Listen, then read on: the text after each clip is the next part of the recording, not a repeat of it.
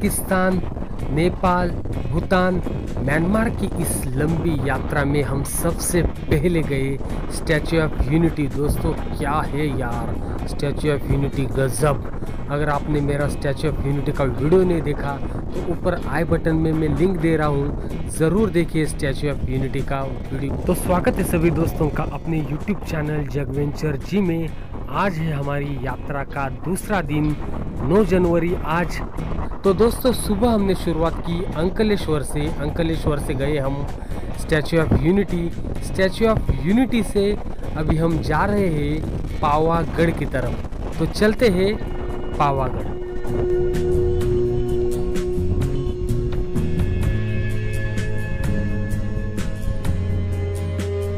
नाम देखा और ये देखिए अभी वो। बेल। तो सही में अच्छा लगता है। कोई अपना चैनल सब्सक्राइब करे लाइक करे तो अपन जो काम कर रहे जो India to Nepal Nepal to Bhutan तो उसकी वजह अच्छा लगता है। It's a wonderful yes wonderful thank you आप आपका सपोर्ट हमें हमें मिला आपकी शुभेच्छाएँ हमें मिली ये बहुत अच्छा लगा। सर जी सही काम कर और मैं ये पूछना चाहता था कि अभी जो ये इधर मैंने पीछे देखा हथनी माता मंदिर। हाँ। तो यहाँ का चंपानेर का मेन कौन सा है? पावागढ़ या क्या मैं वही यहाँ पे अलग अलग स्पॉट है। जैसे हाँ। यहाँ पे अंदर जंड हनुमान है। जंड हनुमान। हाँ, हनुमान हाँ, जी का मंदिर है। हाँ मैंने पीछे हाँ हाँ। वहाँ पे आगे है। यहाँ से अंदर तेरह किलोमीटर अंदर जंगल में जाना है। वहाँ। पे बहुत बड़ी मूर्ति है। अच्छा। हाँ बहुत बड़ी मूर्ति। मतलब समथिंग मे बी तेरह चौ- चौदह फुट जितनी मूर्ति है। मूर्ति है हाँ। हम्म, और वहाँ से आप इस तरफ़ जाओगे तो 25 किलोमीटर आगे है अच्छा हथनी हाँ। माता। हथनी माता। हाँ। उसकी क्या कहानी है क्या कुछ? उसकी कहानी तो ऐसा है हम्म, कि वो जो माता जी का मतलब पानी गिर गिर के हाथी जैसा मतलब शेप है। अच्छा। हाँ माता जी का वहाँ पे हाथी जैसा हाँ, शेप इसलिए हथनी माता। हाँ इसके लिए। ठीक है। आपने बताया तो हम अभी दर्शन इधर से हाँ, पावागढ़ हाँ। जाते पावागढ़ का मैंने ज़्यादा सुना है। जी जी सही है सही जाते है। वहाँ तो जाना ही पड़ेगा। वहाँ तो वहाँ से भी बगैर तो निकल नहीं नहीं सकते। हाँ। चलिए फिर खाना खा चलिए। नहीं नहीं आप खाइए। वंडरफुल बात करके अच्छा लगा। थैंक यू थैंक यू बहुत बढ़िया खाना खिलाया भाई साहब ने। बहुत अच्छा था। तो चलते आगे की ओर। तो दोस्तों स्टैचू ऑफ़ यूनिटी के दर्शन लेने के बाद अभी हमने खाना खाया। और अभी बजे है डेढ़। यहाँ से 25 किलोमीटर दूर है पावागढ़। वैसे तो चंपानेर सब जन आते हैं। सबको मालूम है कि पावागढ़ ये इक्यावन शक्तिपीठों में से एक शक्तिपीठ है। लेकिन चंपानेर में और एक चीज़ ऐसी है जो गुजरात का मध्यकालीन राजधानी हुआ करता था, उसी चंपानेर को देखने हम अभी जा रहे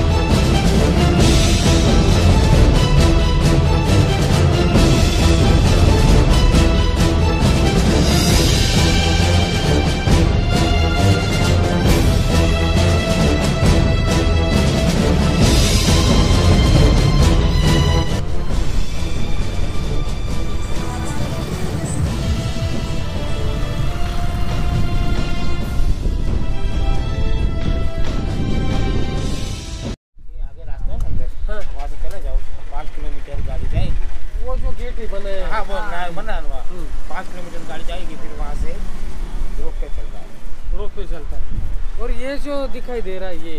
ये पूरा गाँव किला है अंदर गाँव अंदर गाँव ये दीवार है क्या पूरी? चारों तरफ़ दीवार है बीच में गाँव है। इसका क्या है उसका कुछ क्या हिस्ट्री क्या कुछ? ये तो वो वर्ल्ड हेरिटेज वाले घनश्याम काका करके है इसमें एंट्री कहाँ से मिलेगी ये क्या गेट सामने ये बस एक जाने का गेट फिर एक निकलने का दो गेट है बस ये गाड़ी लेके जा। गाड़ी- बस यही है क्या वो? चंपानेर का मेन हाँ चं- चंपानेर बोलते हैं ये बाजू यहाँ पे मस्जिद है। हाँ, ये देख के फिर वहाँ निकल जाने को बाजू में। हम पहुँचे हैं ऐसी जगह जो गुजरात की मध्यकालीन युग में राजा ने पाटन की राजधानी चंपानेर को किया था उसी चंपानेर में। और आप मेरे पीछे ये जो दीवार देख रहे ये सबसे बड़ी दीवार उस समय बनाई गई थी और इसके अंदर था पूरा चंपानेर का बसा हुआ युद्धकालीन शहर। तो जाते हैं पहले अंदर। तो हम एंटर कर रहे हैं, ये देखिए आप, चंपानेर में। दक्षिण का भद्र द्वार जिसे कहते हैं, ये देखिए, पूरा। क्या रहा होगा इसका इतिहास? शहर की मस्जिद उस समय की ये तो दोस्तों, हम हैं चंपानेर की इन गलियों में जो पुरातन काल में कभी गुजरात की राजधानी हुआ करता था। इसमें तीन मस्जिद हैं, एक शहर की मस्जिद, एक जामा मस्जिद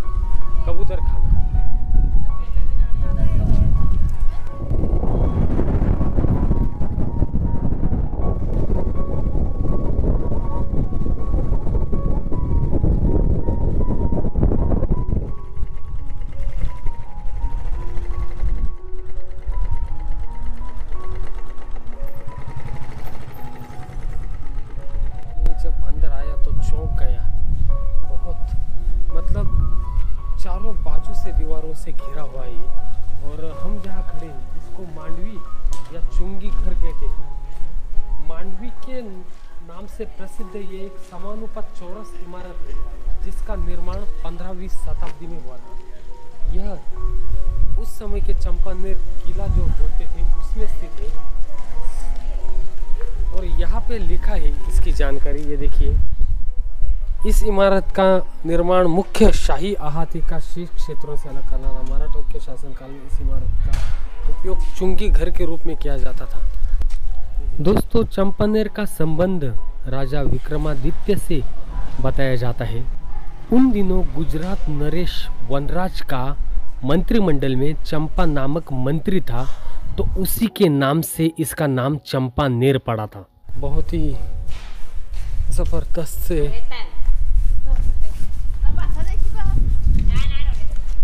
देखिए, अभी हम दीवार से बाहर आ गए। बहुत ही अच्छा। इसका नाम है मांडवी अथवा सीमा शुल्क। तो मैं गाइड देख रहा था दोस्तों, लेकिन यहाँ गाइड नहीं मिल पा रहा है। तो भी मैंने जितनी जानकारी दी थी, उतनी देने की कोशिश की है चंपानेर के बारे में। और इसी के बगल में है ये भारतीय पुरातत्व सर्वेक्षण विभाग का कार्यालय।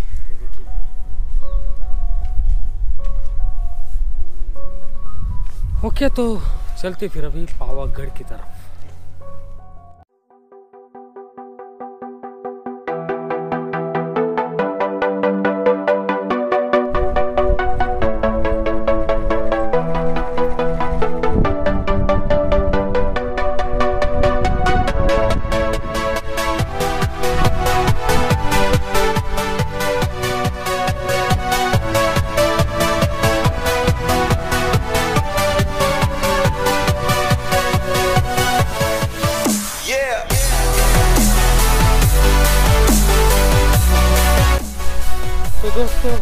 गए पावागढ़ में।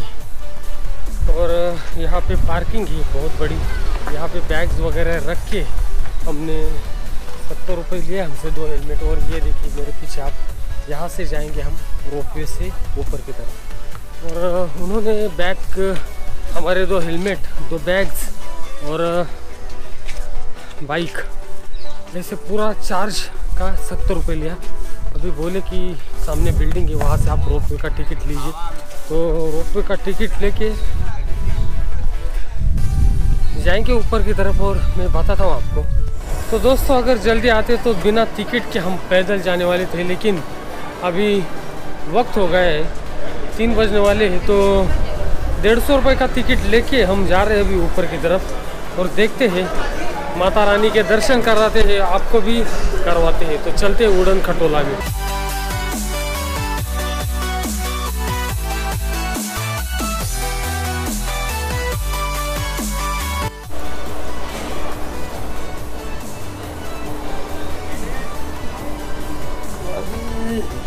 उड़न खटोला में हम बैठ गए।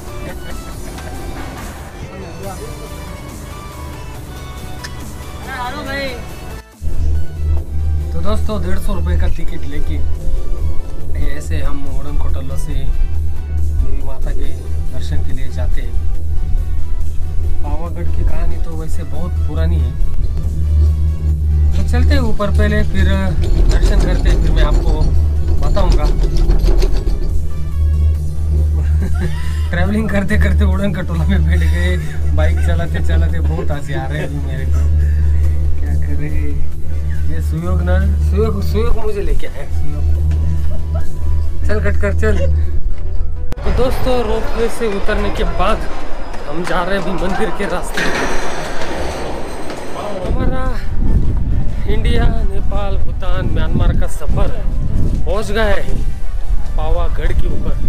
और आप देख सकते हैं दोस्तों कि इतनी बड़ी इतने बड़े पहाड़ी के ऊपर आने पर भी ऐसा न लगता नहीं कि इतना ये चहल पहल होगा, इतना ये होगा।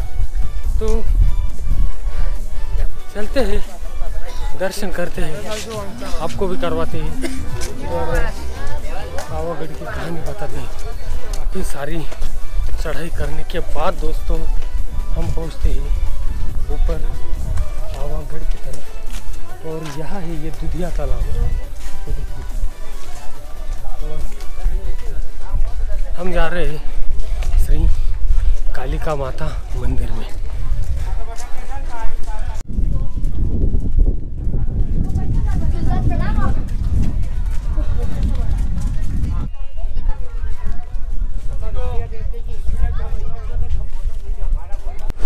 मंदिर के ऊपर आके ऊपर आने के बाद और सीटें चढ़ के हमको जाना पड़ता है। सीढ़ियाँ चढ़ते वक्त मुझे अपने नासिक की सुनगी, माता की याद आई। अपने नासिक में सेम ऐसा ही है। लेकिन सिर्फ़ एक बात का फ़र्क है कि वहाँ ऊपर तक बस, गाड़ी से हम आ सकते हैं। यहाँ हम वाई उड़न खटोला से आते हैं। इधर की चढ़ाई करते वक्त नीचे दिखता ये दुधिया तालाब। बहुत ही खूबसूरत है। अंदर अभी शूटिंग दोस्तों।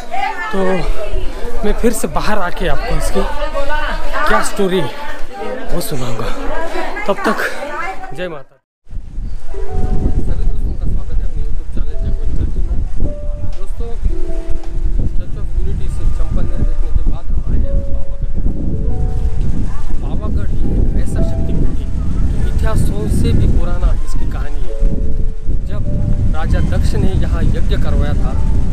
ब्रह्मांड के सभी देव देवताओं को उन्होंने आमंत्रित किया था। तो उसमें भगवान शंकर भी थे। तो सभी देव देवताओं को उन्होंने बड़े से बड़े सिंहासन यहाँ बैठने के लिए दिए थे लेकिन भगवान शंकर जी को कोई सिंहासन उनको उन्होंने नहीं दिया था। तब जब माता सती ने ये देखा कि भोलेनाथ जी के लिए कोई सिंहासन नहीं तो जिस यज्ञ का वहाँ नियोजन किया था, उसी यज्ञ में माता सती ने कूद कर अपनी जान दी दी उस यज्ञ में जल जाने के बाद भोलेनाथ ने माता सती का शरीर वैसे ही उठाया। तब विष्णु जी ने सुदर्शन चक्र करके माता सती के शरीर के इक्यावन टुकड़े, शरीर के इक्यावन टुकड़े हुए और वो इक्यावन माता सती के शरीर के टुकड़े जहाँ जहाँ गिरे, वही बाद में शक्तिपीठ कहलाई उसमें से ही एक ये है, पावागढ़ का शक्तिपीठ। कहा जाता है कि माता सती के दाहिने पैर का अंगूठा यहाँ गिरा था। और पावागढ़ में पवन की हवा बहुत ज़ोर ज़ोर से चलती है। अभी भी हम सुने तो यहाँ हवा बहुत ज़ोर से शुरू हुई। इसलिए बाद में इसे पवनगढ़ का अपभ्रंश होके पावागढ़ ऐसा नाम इसका हुआ। तो माता जी माता रानी को नमस्कार करते, माता रानी को प्रणाम करते, हमारी यात्रा आगे की शुरू करते हैं। आप देख रहे हैं, भारत, नेपाल, भूटान, म्यांमार की मेरी यात्रा जगविंसर जी पे।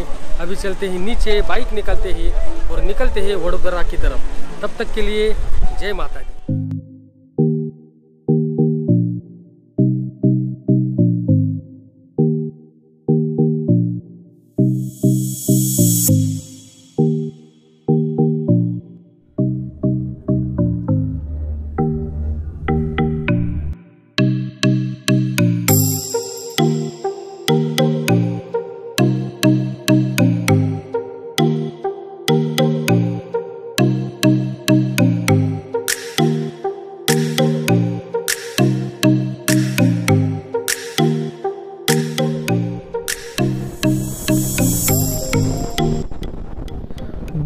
दिन की यात्रा हमारी शुरू है दोस्तों, और बहुत थकावट अभी लग रही है, क्योंकि सुबह हम निकले हैं अंकलेश्वर से साढ़े पाँच बजे। बाद में गए स्टैचू ऑफ़ यूनिटी उसके बाद चंपानेर, पावागढ़, और पावागढ़ से अभी जा रहे हम वडोदरा की तरफ़।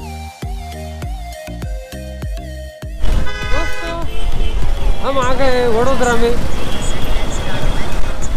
और हम जा रहे हैं अभी लक्ष्मी विलास पैलेस। तो बहुत नीट एंड क्लीन सिटी दिख रही है मुझे वडोदरा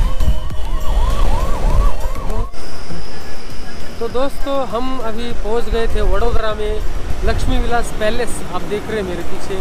लेकिन अभी फ़िलहाल ये बंद है तो बोल रहे हैं सुबह साढ़े नौ बजे से पाँच बजे तक खुला रहता है। तो सुबह तो हम निकल जाएँगे अहमदाबाद के लिए। तो लक्ष्मी विलास, पहले कभी इतना ही देखे और वडोदरा में अभी आज स्टे करेंगे। तो चलते हैं आगे। इसका और एक गेट है आगे, मैं वो भी आपको दिखाता हूँ।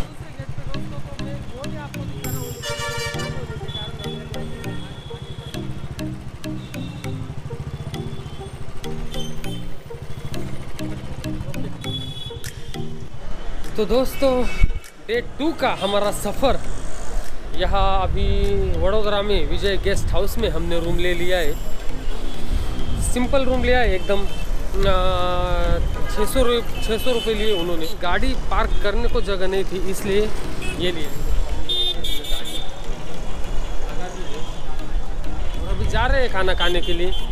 तो मिलते हैं खाना खाने के बाद। खाना खा के अभी पैदल चलते चलते मैं यहाँ आया, जो वडोदरा का शहीदों का वीरांजलि। और यहीं पे मैं आज मेरे दूसरे दिन 9 जनवरी का ब्लॉग समाप्त करता हूँ। सुबह निकले थे हम अंकलेश्वर से और आज का डे का ब्लॉग मेरा एंड हो रहा है वडोदरा में। तो आज के लिए इतना ही। अगर वीडियो अच्छा लगे तो लाइक कीजिए शेयर कीजिए सब्सक्राइब कीजिए और देखते रहिए चैनल को। जगवेंचर जी, जय हिंद, वंदे मातरम।